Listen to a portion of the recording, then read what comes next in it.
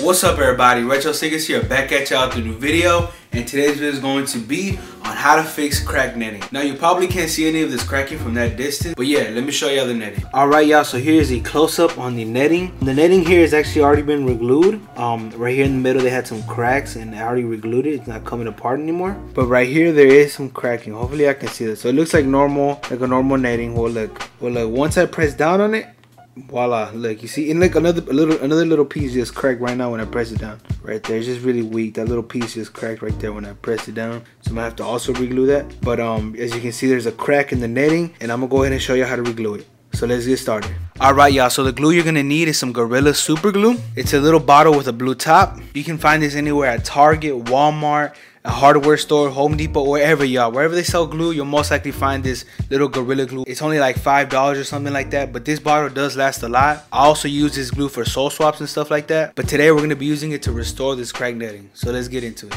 All right, y'all, so you're gonna go ahead and get your glue. And if the crack on the netting is really, really small, what you can do is use a Q-tip or a toothpick and apply the glue into there and then close it in. But I just use it straight out the bottle, straight out the nozzle on the top. But um, yeah so all you're gonna simply do is get your glue and just place it in that area where it's cracked. Now don't put now don't put too much just put a reasonable amount. All right yeah so that's about enough. Um don't put too much just put enough.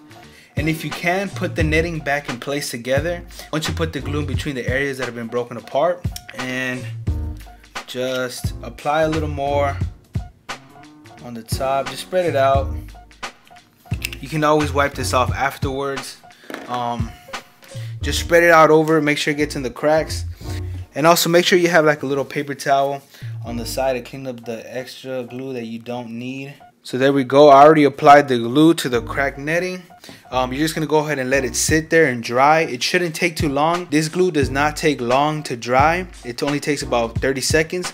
But but when it comes to the crack netting, it takes a lot longer for it to actually hold it in. So you're gonna have to wait longer than 30 seconds. I recommend just leaving it there for a while, for about an hour or two. And if you're worried about getting it under the netting, I haven't seen any real problems with that. Just don't apply too much glue. Just put a sufficient amount to close up the netting Alright y'all, so I'm done regluing these. It's a very simple and easy process.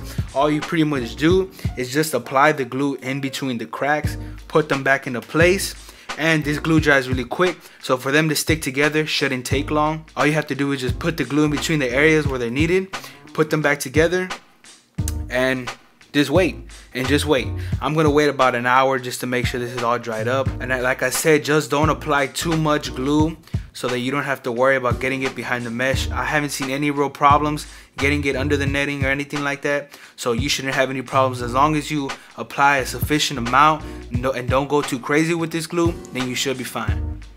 If you have any excess glue stuck in the holes, all you have to do is just simply get a toothpick and just poke it out. I'm gonna go ahead and show you out right now. So here I got my toothpick and this little orange crap. I don't even know what the hell it is. Uh, yeah, so there's a little spot. You can go and just poke it out. And also for any other excess glue, you can use some nail polish remover and a Q-tip to rub it off. So just like that, you just rub it off. You take off all the excess glue that you don't want. It's very simple, y'all. Just rub it over the area and it's done. So alright y'all, so now we finished regluing the netting that was once cracked.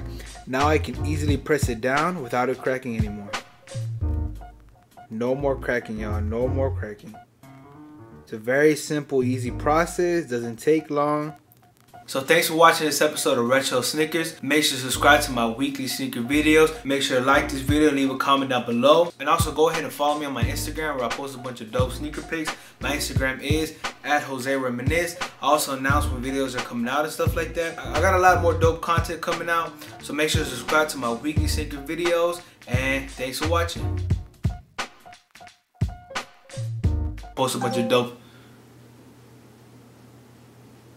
えっ